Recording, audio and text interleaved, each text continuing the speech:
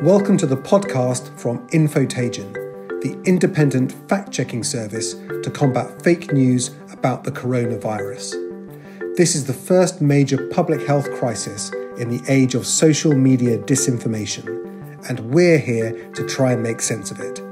In this podcast, we'll be focusing on the response to COVID 19 in Singapore and the introduction of track and trace tools to monitor the spread of the virus. I'm Damian Collins MP, co founder of Infotagion and former chair of the House of Commons Select Committee for Digital, Culture, Media and Sport. And I'm here with our resident experts, the disinformation analyst Dr. Charles Kriel and John Quinlan, the CEO of Iconic Labs. Today, we'll be joined by our special guest from Singapore, Dr. Shashi Jayakumar, who heads the Centre of Excellence for National Security at Nanyang University, and Carol Soon, a research fellow at the Institute for Policy Studies. They'll be followed by Tom Pressley, who is based in London, where he is the Vice President for International Marketing of Everbridge, who are the largest critical event management company in the world. So, Charles, if I could come to you first, it's been quite a busy week uh, since the last uh, podcast. Uh, Donald Trump in America suggesting that disinfectant could be the solution to coronavirus, and it would also seem much more focus on uh, politics in in China around coronavirus too. But what have you been picking up this week? Uh, well, thanks for uh, having me on, Damian. I mean, first, kids don't mainline Clorox. That's really important. Um, what I've really noticed this week is that my two least favorite disseminators of disinformation, uh, Nigel Farage and Andrew Wigmore, are at it again, but this time they're promoting coronavirus conspiracies on Twitter.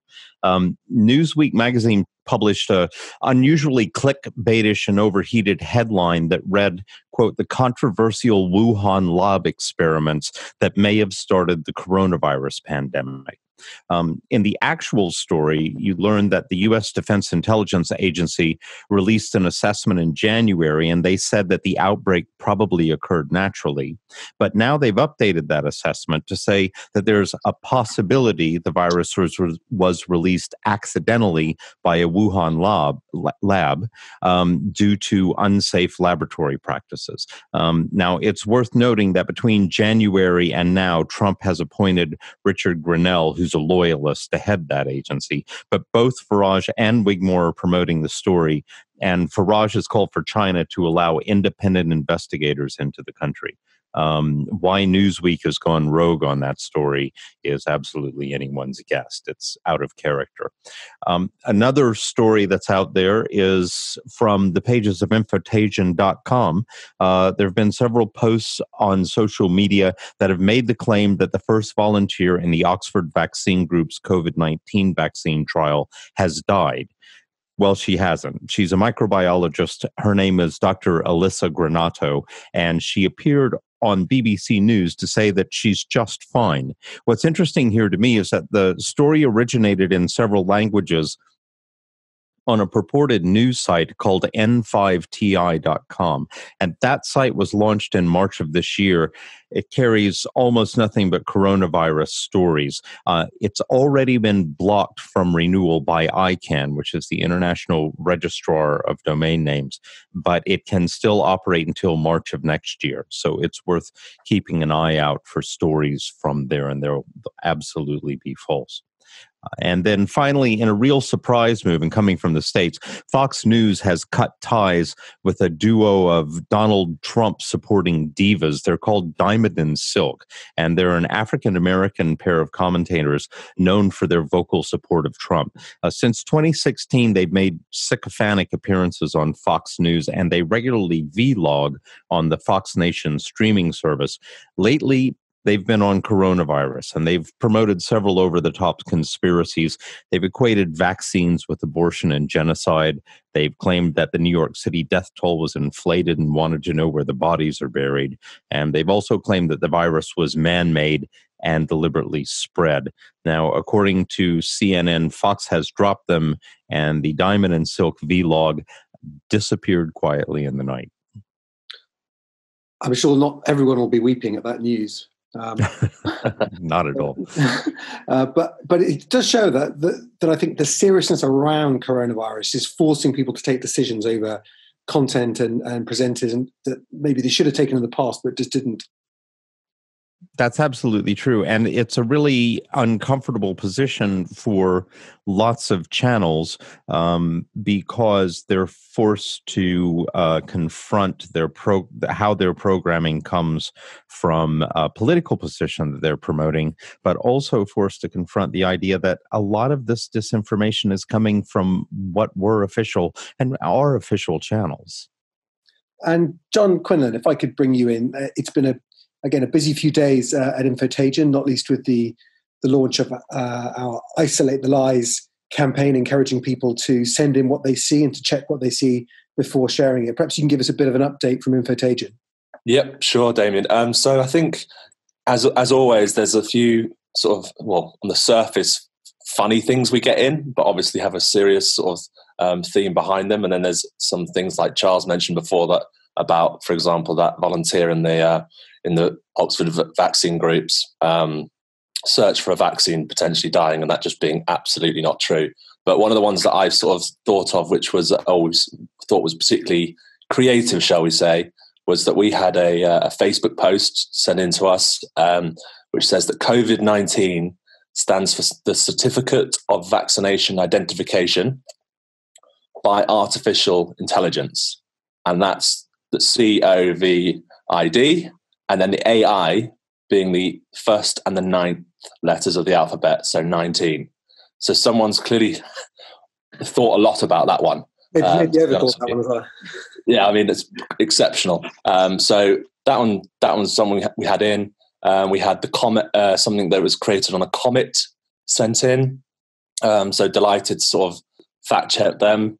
Um, I think you know on a wider social media um, sort of uh, scene, and this is another thing that we've had in obviously is is the stuff about Trump's disinfectant claims, um, which I won't go into too much, but one of the things that we've seen on social media generally is actually people's reaction to that.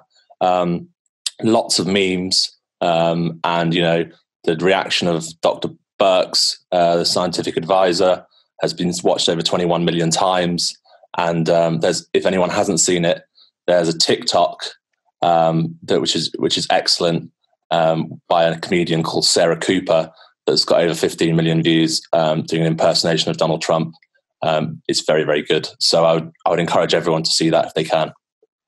No, I've seen that. It's very funny, and she also does the uh, uh, her interpretation of the reaction of the doctor as well, which I thought was uh, to, to yeah comes advice I mean, testing. Yeah, look, as as as as someone in a sort of our, our let's call it our other job of uh, creating sort of content and content that people share. Um, when when we saw the zoomed in um, sort of uh, clip of of Dr. Birx, you know, that's just like perfect material for everyone. So um, yeah, she she referenced that as well. That's, and just just to say, Infotagion receives uh, content from people via the website infotagion.com. But with the Isolate the Lies campaign, we're also saying that people can hashtag uh, Isolate the Lies, and we will try and pick up those uh, posts on Instagram and Facebook and Twitter, as well as people sending them into Infotagion. That, that's correct. Yep, absolutely, yeah. Yeah. Now, if I could bring in our first of our guests for this podcast, and firstly, uh, Shashi Jayakumar and Carol Soon, who are joining us via Zoom from Singapore. It's fantastic to have you with us on the podcast. Thank you for your support with our work with Infotagion. I think Singapore is very interesting, both in terms of its response to coronavirus, having a major outbreak before the UK and dealing with a, a second wave. Uh, so we're very interested to learn more about that, uh, to learn about the experience of Singapore and things like um, track and trace to try and um, control the contagion. But also, I was very interested when I first met uh, Shashi. It was discussing the general issues around disinformation and the work Singapore was doing to create new laws and legal responsibilities to act against disinformation spreading on social media. And I wondered if I could ask um, both Shashi and Carol if they could give us their perspective on the introduction of those laws in Singapore and, and how effective they think it's been in trying to control the spreading of viral disinformation. Sure. I, I wonder if I, I should begin, Damian, if that's agreeable to, to you and to, to Carol as well. And I'll speak for a few minutes. Can you hear me? Yes, loud and clear. I'll speak for a few minutes, and I'll speak for a few minutes on these issues which you, you've touched on, Damian. I, I think for those of you who, who don't know, Singapore is a remarkably diverse and cosmopolitan country, resident population 5.6 million. According to some surveys, the most diverse country on the planet. So you've got Chinese, Malays, Indians, that's the race groups, Eurasians, Eurasians as well. You've also got uh, diverse religions, Hindus, Confucians, uh, Buddhists, uh, uh Islam is, is represented as well. So it's very, very diverse. In terms of the numbers, we have reached today almost 15,000 cases, just 14, one, four fatalities, mainly elderly, and a number have been dis- discharged, of course. The 15,000, the very, very large proportion of that number is from foreign workers, mainly construction workers and so on, mainly from South Asia. Many, most of them actually live in purpose built dorms in, in Singapore. And it's important to bear this in mind when you look at the numbers, because in terms of the Singapore permanent resident or Singapore citizen infection rate for the past few days, indeed weeks, it's actually been, been rather low. We're talking about 20, 30, some days it's in the, the tens, just to, just to give you a sense of the, the, the numbers. We are reaching uh, the middle point of what would be a two month lockdown light, if you like. I, I call it that because even though the official name is circuit breaker, it's basically a lockdown. But some restaurants can remain open if you deliver for customers who want takeaway. Individuals can go and exercise, although quite restricted in terms of where they can go. And mask is compulsory if you if you leave the home. In the earlier part of the Singapore government response, I think the response is relatively good. We en- enacted a ministerial team to look at these issues and various other preparations well before the first imported case came into Singapore. So, for the first part, I think we did relatively okay. And, and I should add, for those of you who, who do or don't know Singapore well, it's actually in the DNA of Singapore's leadership. I was formerly from government, so I can tell you, nation which, from birth, which is a painful separation from Malaysia in 1965, feels very, very vulnerable. Some might almost say this sense of fragility comes from a, a paranoia in the political elite. So it's kind of a calculated paranoia, which is what keeps Singapore going. The leadership itself is, I would say, respected. Prime Minister Lee Hsien Loong, who is the son of the modern founding father of Singapore, Lee Kuan Yew, is the Prime Minister. He's widely respected, personally popular. And it is his interventions, televised interventions in particular, which have been critical to calming the ground because on a few occasions, you've had what looked like might be the beginnings of panic buying, hoarding in supermarkets. So when he intervenes, by and large, he leaves it to the ministerial team. But when he intervenes in three of Singapore's four official languages, which is English, Mandarin, and, and Malay, these have provided quite a lot of needed reassurance to the to the ground.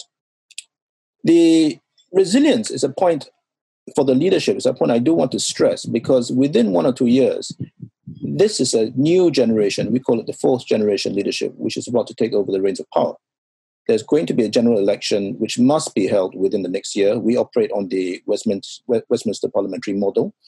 And this current period, where newer leaders are tasked key roles within the task force, may well be, be the making of some, some of these younger leaders. And Prime Minister Lee himself indicated he's going to step down at some point after the, the next election. I do want to spend a little bit of time on the foreign worker dorms issue because there have been some observers who pointed out that the authorities should have upped their game, upped the ante in terms of spotting that this was a potential trouble spot quite early on. We had early vigilance against community spread for the Singapore citizen population. And I think that some of this testing, some of this vigilance should have been uh, going into the dorms where the foreign workers stay in very, very closely packed confines should have gone in there at an, at an earlier stage. Now, since Infotagion is about disinformation, misinformation, and fake news, I, I, think I should quickly zoom into those, those aspects. Damian, as you know, uh, academics and researchers have settled on this sweet spot in terms of differentiating misinformation, disinformation. Misinformation can be unwitting, it's got an element of unknowing, sometimes not intentional. Whereas disinformation, I think many academics now agree, should be defined as something calculated much more maliciously calculated to, to harm. Singapore has seen some of both. There's been a fair amount of both. For example, just yesterday, a gentleman has been charged in court for spreading fake news concerning how supermarkets are going to be closed. He spread this on a popular Facebook group. He's been charged with communicating a false message, potentially uh, faces a jail term. So, social media messages suggesting enormous amounts spent by COVID patients at public, publicly subsidized hospitals. Again, false, because with very few exceptions, if you're a Singapore citizen, you are going to get free treatment for, for COVID in Singapore hospitals. There's also been some, I wouldn't call it disinformation, but racist post letters to mainstream media, sometimes the Chinese media, concerning the unsanitary and unhygienic, allegedly, habits of the foreign workers in dorms. You could say this is their opinion and people are entitled, but personally, I'm glad that ministers have come in to say that this has to do more with the conditions in which they live and that the reviews themselves are, are, are racist. Singapore WhatsApp groups are very, very popular, and quite often misinformation circulates in WhatsApp groups, the one which you can't exit, which is the family WhatsApp group. And I think the government has done a wise thing by being connected to, to the people by an official, if you like, WhatsApp group. Several hundred thousand people uh, every day get news and debunked fake news on this official uh, WhatsApp uh, channel in order to, to get clarifications. So various people and agencies have upped their game, which is very, very necessary. As I mentioned, within the next year, you are going to have uh, a general election, perhaps sooner rather than, than later. I think the powers that be do want to see whether their ability to debunk, to correct, to give the reassurance is fine tuned, even through this, this tragedy that we're, we're going through right, right now. A final word on POFMA, which is the acronym Protection Against Online Falsehoods and Manipulations. It was enacted last year.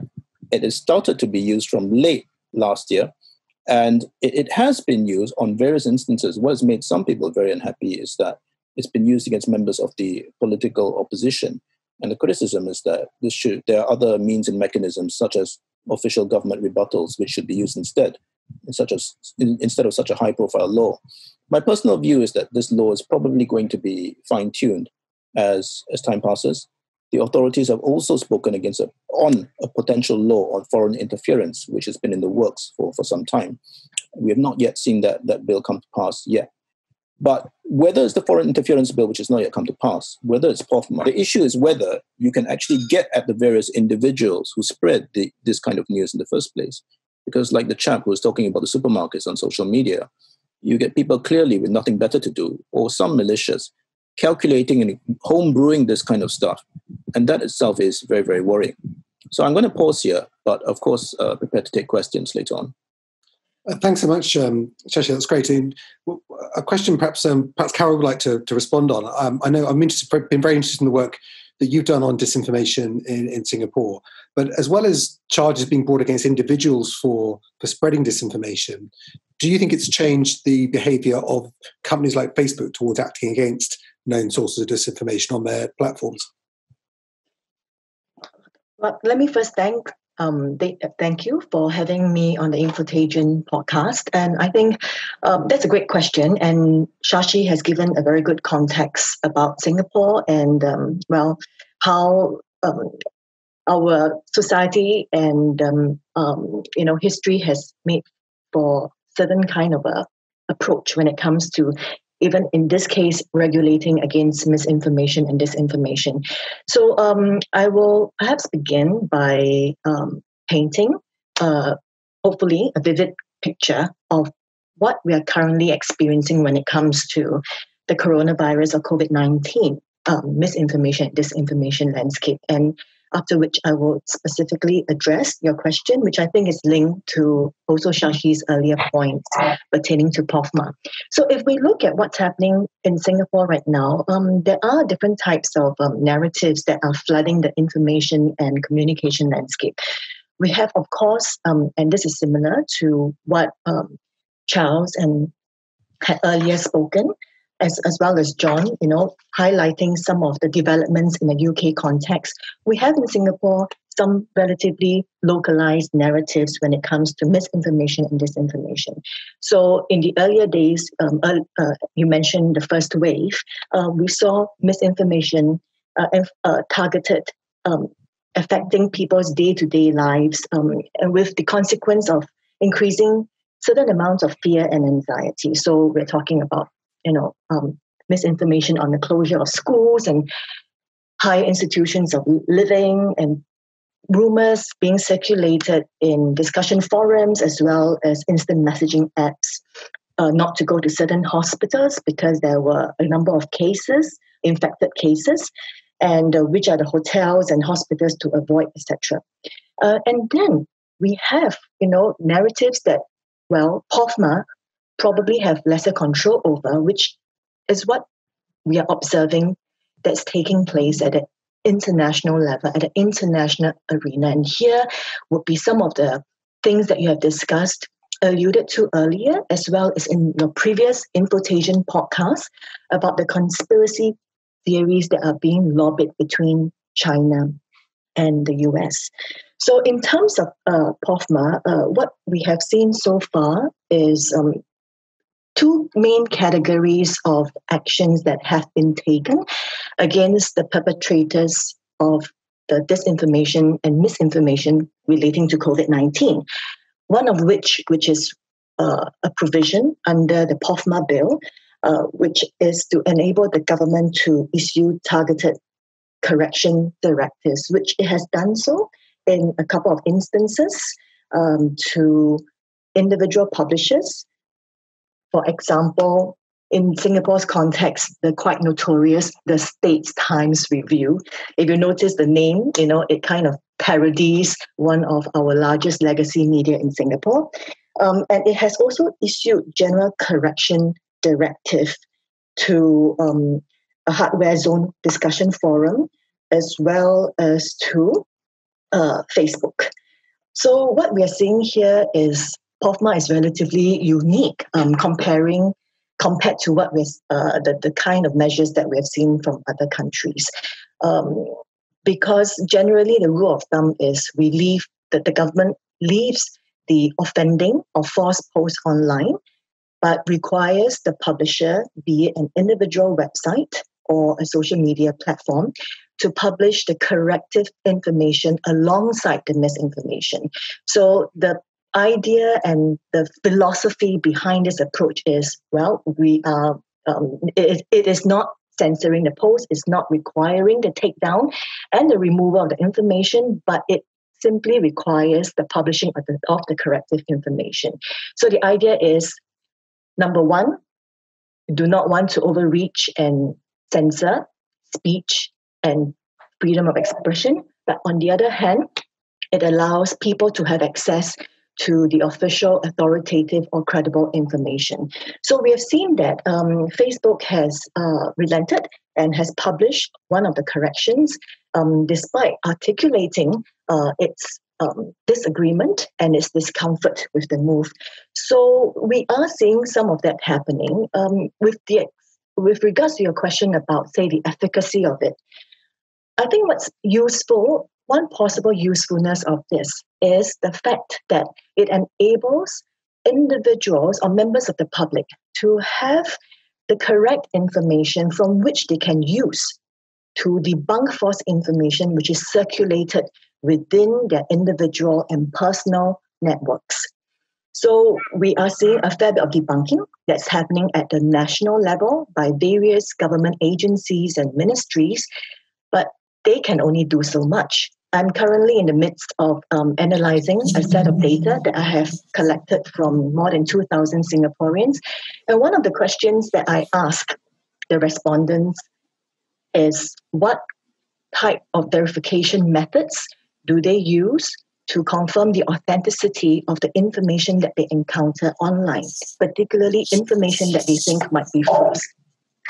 Um, and well, um, the most common and the most popular step is to ask family and friends or colleagues. And the least popular verification method is to go to a fact checking website. So clearly, there's a lot of um, uh, things that are going around in personal networks, um, the circulation on closed communication platforms like WhatsApp. And hence, in, at the end of the day, legislation such as POFMA uh, or even the impending Foreign Interference Act would, as the government has acknowledged its limitation. Um, so we need to see what more we can do to bolster people's immunity and resilience uh, by enabling them with the mechanisms to so-called take action into their own hands. Um, I mean, when Shashi was speaking earlier, he mentioned the a sort of official WhatsApp channel which the government uses to respond to uh, uh, stories that are known to be false. And is that actually rather than just giving out general public information advice, actually debunking myths that are circulating to uh, and doing it by sharing it back through messaging apps rather than di- just simply directing people to fact checking sites? Uh, I'll, come in briefly, and then maybe Carol would like to come in. I think the official WhatsApp group, which has several hundred thousand members, last time I checked, needs to be supplemented by the official uh, government pages and fact checking websites. These include Factually, and these include gov.sg, and also the MOH, which is the Ministry of Health website. And they these websites put out in a very clear and, transparent fashion. Let's say the MOH website would say, We're aware of this rumor concerning a death here or death there, or a new outbreak of infections here or there. And this is false. And sometimes, when more explications needed, they'll, they'll say, This is false or distortion, and, and so on and so forth. So it's not just the WhatsApp channel, which can be useful, but it is also the, the, the various websites which, which are being used. I'm not sure if you want to uh, come in here, Carol. Yes. Um. Uh. In fact, the WhatsApp uh, account. It's the first time um, the government has used the instant messaging app directly to reach out to members of the public. I think if we look at the daily uh, messages that we receive in English as well as the other three vernacular languages, the information that is sent to the subscribers basically falls into three categories, one of which would be the very regular updates on the number of infections and the number of clusters that they have identified. The second category would be reminders of key measures that have been recently lo- uh, rolled out, for instance, certain measures pertaining to the circuit breaker. And the third, at times, it is used to debunk specific information. And yes, it does contain links to um, and reminder for subscribers to consult official channels like Factually, as well as the Ministry of Health website, where there is a detailed list of the various types of falsehoods that emerged since the beginning of the outbreak in Singapore, which puts us at about, um, I think, around late January after the lunar Chinese New Year. Mm. So, just, just add, uh, yeah. yeah, sorry. Just to add, Carol, government itself has been forced to up its game in this social media age within the last few weeks, they've had to launch platforms on Telegram. So gov.sg is on Telegram and yes. also Twitter. And this has happened just within the last few weeks, purely on account of, of COVID, I think. Yeah. But I think, uh, uh, uh, um, if I may, uh, besides the government, it's also heartening to see how um, the other segments of the community are stepping up to do their bits. So we see individuals uh, reaching out to vernacular communities by producing their own videos and updates in various Chinese dialects. Um, so these individuals and groups uh, debunk information, but they also reinforce key messages that have been put out by the mainstream media and the government. Uh, be it the observation of uh, personal hygiene, uh, or um, you know the or the debunking of um, further falsehoods it's, it's interesting there's an approach the the way in Singapore people are going out to the channels that people use to communicate rather than directing them to a government page or a fact check site to actually try and recirculate the corrected information back through the channels people are actually using. But I wonder if I could just bring in Tom uh, Pressley here as well. Tom is from uh, Everbridge, who are a uh, critical event management company, and Tom, uh, part of our discussions on the Infotagion podcast are around looking at the role of tech in our society, you know, seeking to debunk uh, the falsehoods and the disinformation that circulates. But underpinning, underpinning all of that in a way is also the question of you know, how we can make sure tech is used for good. And in some ways, that's where I think you come in and, and your company comes in, and particularly into the debate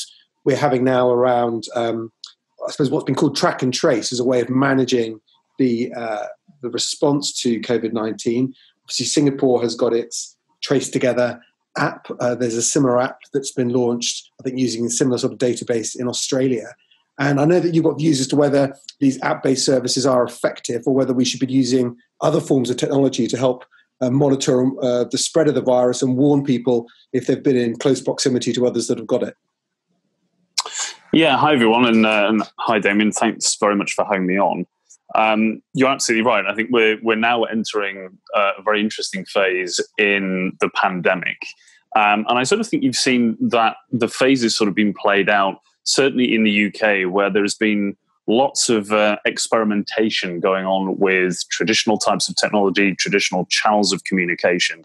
And now we're very much sort of entering into the app stage. So if you take the UK as an example, uh, I think everyone will remember receiving a, a text message from the government uh, that came out over a sort of a 48 hour period. There was then a letter through the post, and we obviously have our, our TV updates as well.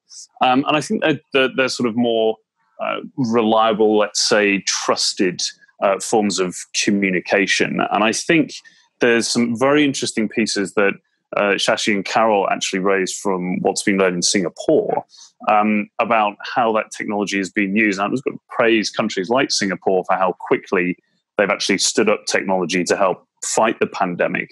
And I think in other sort of countries, perhaps in, in Europe, we, didn't mobilize that technology quite as quickly. But now we're sort of entering into the, the application stage. I think there's sort of two real fundamental parts of that that, that need to be considered in order to have the right blend of technology to make uh, a, a, suitable um, technology, uh, te- technologically driven outcome to the next stage of the pandemic. And the two elements that are baked in there one is is data, and the second is communication.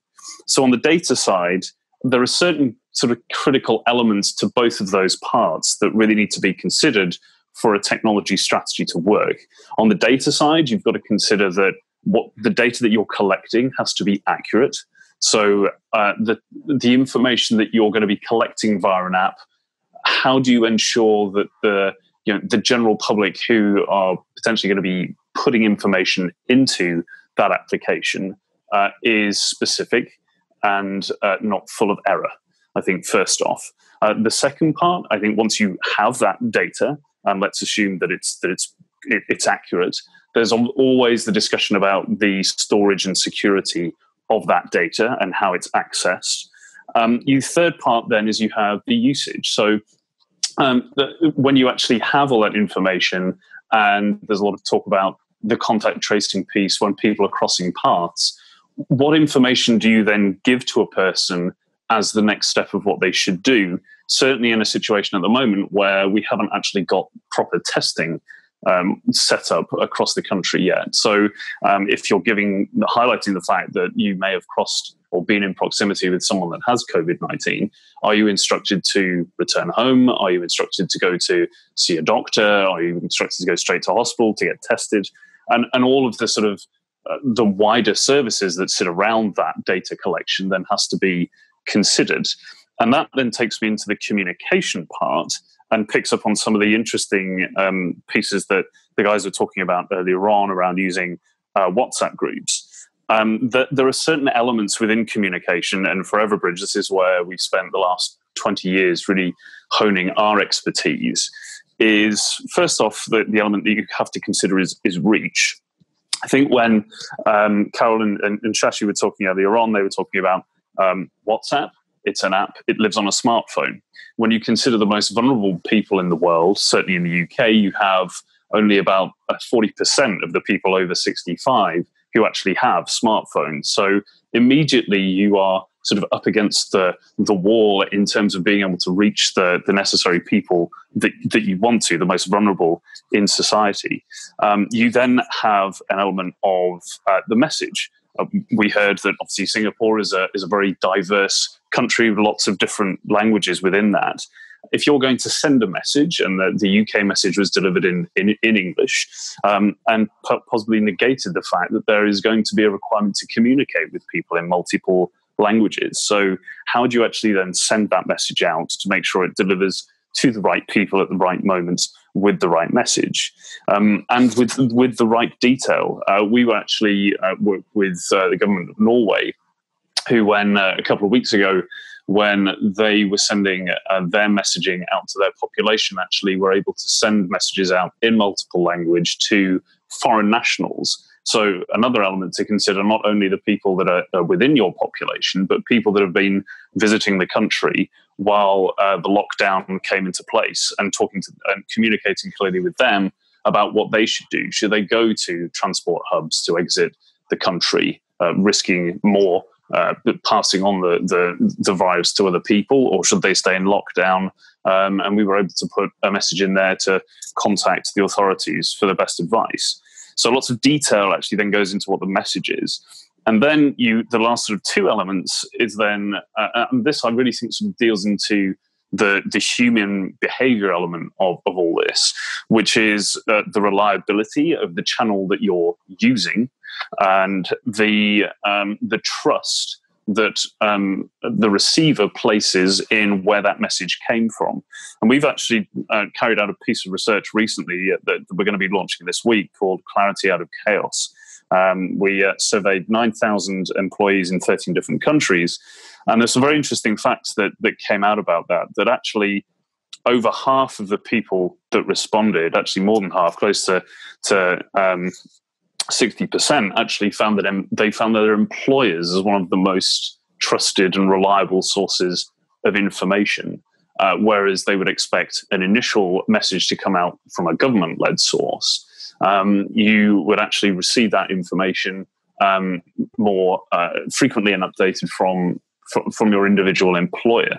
So it's an interesting blend around the communication part of that as well. So um, when we look at the actual technology pieces that are in place at the moment, there are a lot of these homegrown apps being um, sort of designated as the silver bullet for actually solving a lot of our issues coming out of this next stage of the pandemic. But there's a lot of detail and nuance um, within those, that that sort of solution, and I, I sort of feel that it's it's part of the overall puzzle, and there is a need for a bit more of a holistic consideration of all these different elements in order to get uh, the actual approach right to ensure that, the sort of recovery phase is properly resourced from a technology perspective. Yeah, I think you make a good point about the um, the technology that people have, because as you say, that not everyone has a smartphone, um, and therefore not everyone could use an app-based service. There seems to be an interesting sort of tension here as well between people's desire to use tools that will help us lift the uh, lockdown sooner and help us manage the uh, protection of citizens against the virus. But at the same time, a, a, degree of caution about what sort of health data they're giving away and to whom and, and what that could be used for in the future. But presumably, a, a system based around text messages is using data that's already held by public bodies and doesn't require gathering more. Is, is that correct? Yes, so um, the the Everbridge platform, um, we connect up with all the different network operators in different countries, develop relationships with that on behalf of governments, and place our software within those networks. Um, and then it's powered off uh, SIM card use and phone number information. So we don't actually hold any private information at all. We see um, individuals as as SIM cards, if you like, and can track people's movements around in and out of a particular area. The SIM card gives you the language information um, because of the, the location where it's registered. Um, and it allows a lot, a lot, more flexibility within that messaging uh, to get the sort of information back that you need. But that's why I sort of say that there is the, the reliability of the channel that you actually use, which you know, it, it, app-based technology is relatively new in the grand scheme of things, whereas you know, text-based uh, and SIM card um, communication has been around for many, many years and, and, and, arguably is, is more reliable in that sense. But then there is coupling that with having the right access to the right data so you can deliver the right message to the right people at the right time. How how um, how localized can can messaging be with a with a tool like this? Because I mean, if you live in a relatively large, densely populated place like like Singapore or indeed like uh, London, um, the chances are that the, there are there are people within relative proximity to where you live who you know who have the virus or managing the virus. Uh, and so, is there a danger people will be getting messages all the time, or can you make it very localized? Uh, you can do both, uh, and you can certainly make it very localized. I, mean, I, I refer back to uh, the, the, the, the, story that uh, Shashi was telling us earlier on about foreign workers in particular dorms. Now, that is something that could have been considered as a potential danger spot. Um, people living in very close proximity, not the best conditions. Um, uh, earlier on it, with the, the outbreak, there would be an ability to create in our control center, effectively draw a, a map around that area and be able to direct specific information and messaging to the people within that area. So you can get very uh, um, sort of specific to area uh, groupings. And I think the the interesting part of it, and you, you mentioned London there, there are many different sort of component parts of London. It's a very broad and spread out city.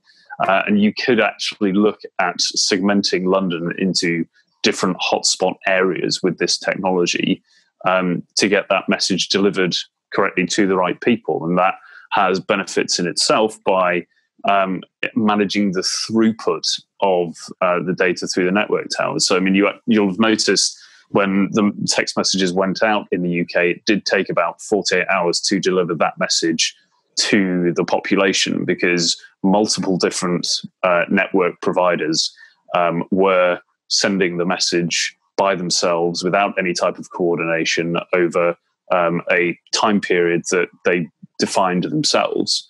Whereas uh, a solution like Everbridge would be able to look into the networks, understand what traffic is available, and send specific messages to specific areas and be confident of uh, the, the pace of delivery of those messages during a certain time period.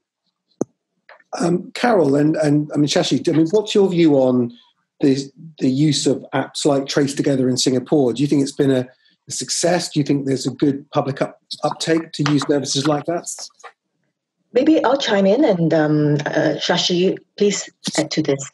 Uh, since its inception to date, we have about 1.1 million people in Singapore who have downloaded the app and are using it. Um, it's definitely uh, an insufficient and nowhere near the critical mass.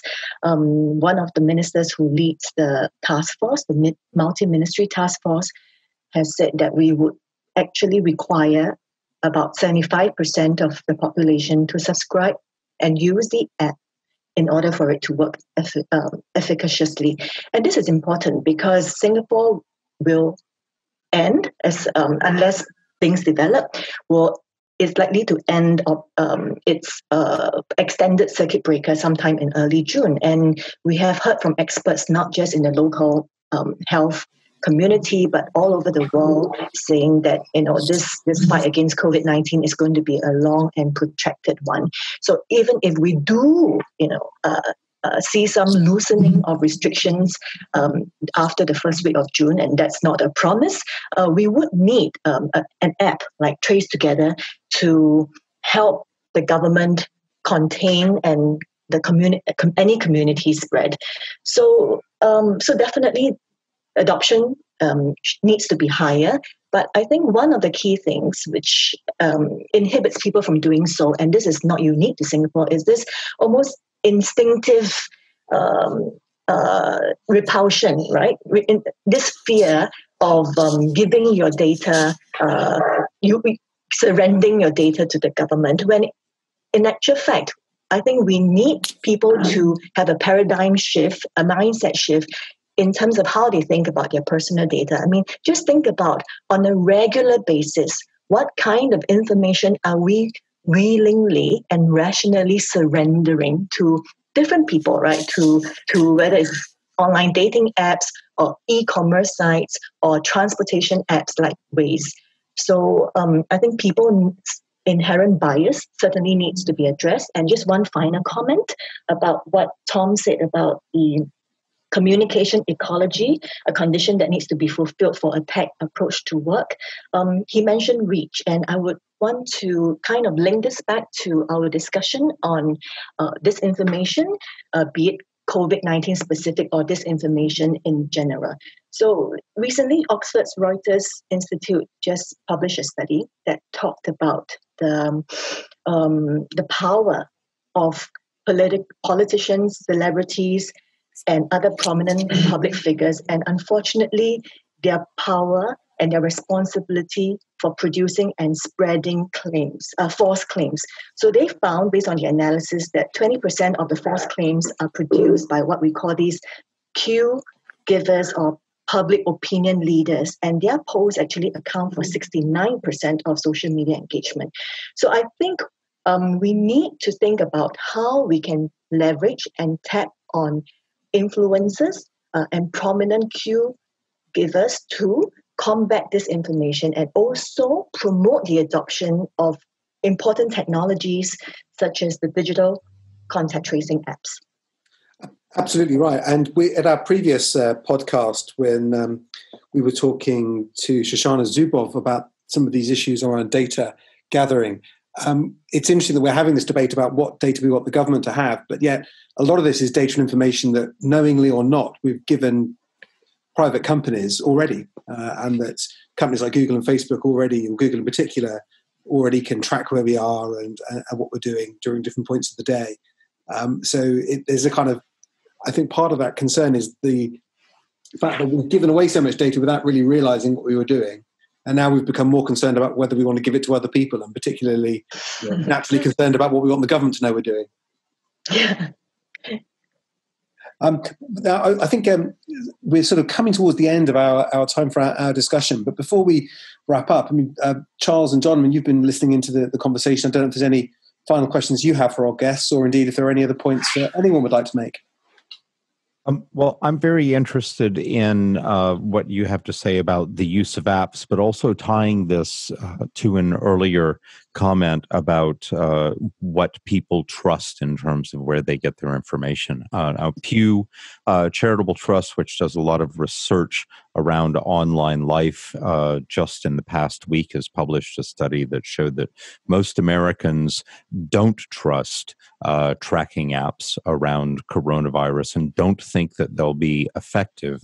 Um, and as long as these apps are an opt in service, I think we're going to struggle to try to get uptake on them because people quite rightly uh, are very protective of their data. Now, one of the interesting things uh, to tie this to what we were saying about fact checking sites earlier, that people tend to trust their friends and family for information more than they actually trust fact checking sites and verification of news stories. And, and this is reflected also in Europe and the United States. And it points to the importance that emotions and emotional attachment end up playing in, in terms of both promoting disinformation, if that's your gig, um, or countering disinformation, if that's what you're trying to do. And I, I think what's not happening with the um, tracking apps is that a good emotional story is being told about them. A compelling emotional narrative uh, needs to be wrapped around it to encourage people. Now, unfortunately, perhaps as we lose more people to coronavirus, that may be built into the DNA. Um, but it's something that I think that uh, governments need to work on. Uh, but of course, as well for businesses in particular, the the story may become if you, the sooner you start using these apps, the quicker we can start to um, lift the lockdown. Indeed.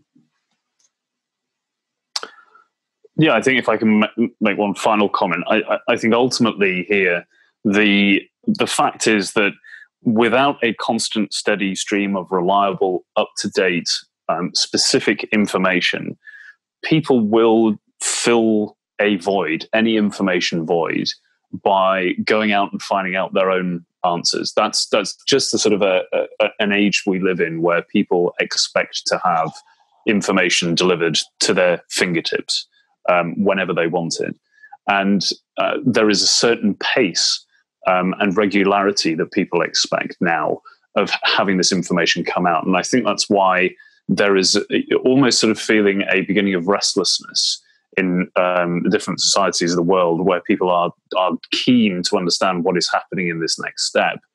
And I think the the pace of information that comes out, especially when we try and exit this pandemic, the frequency has to increase in terms of how governments are communicating with uh, different people. And I think the only way to consider how that will will happen is a correct blend of those reliable technologies that work. Some may be app based, some may be using more traditional uh, text and SMS methods, um, and working with television, radio, and, and, all the means available to a government. But I think really having a proper holistic um, solution around that that that has that that reach and coverage to ensure that that we're not leaving anyone behind in the delivery of those messages is really where the sort of big next focus has to be.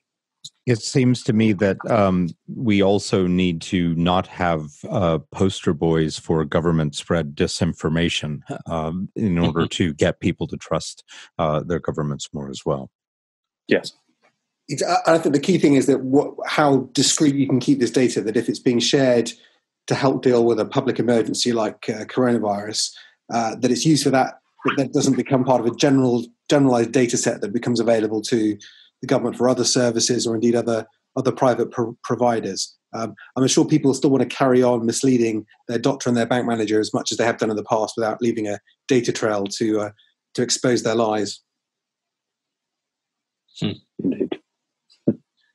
Um, I think that that brings us towards the uh, end of our, our discussion. It's been sort of fascinating to talk through these things, and I think uh, Shashi and Carol. I mean, it's been brilliant to get your insights from Singapore, which I think we've uh, we've a lot to learn from what's happening in, in countries like Singapore as we work through uh, these issues in the UK. And I think this debate around around uh, tracing uh, technology and track and trace is going to be an important part of how we work through the next few months of of coming out of the period of lockdown and learning, I suppose, to live with managing coronavirus in the next probably over the next few months and probably into next year. So thank you all very much. Thank, thank you very you. much. Thanks very much. You've been listening to the Infotagion podcast, hosted by me, Damian Collins MP, featuring Charles Kriel, John Quinlan, Shashi Jayakumar, Carol Soon, and Tom Pressley. It was produced by Lucy and David Dargahi.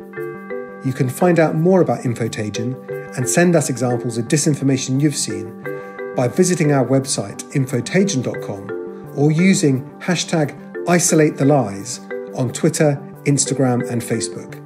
Thank you until next time. Q until next time. Q until next time.